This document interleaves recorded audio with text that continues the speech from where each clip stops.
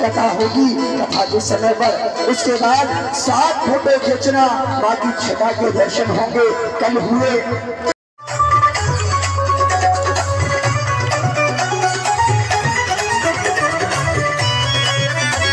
Navjyoti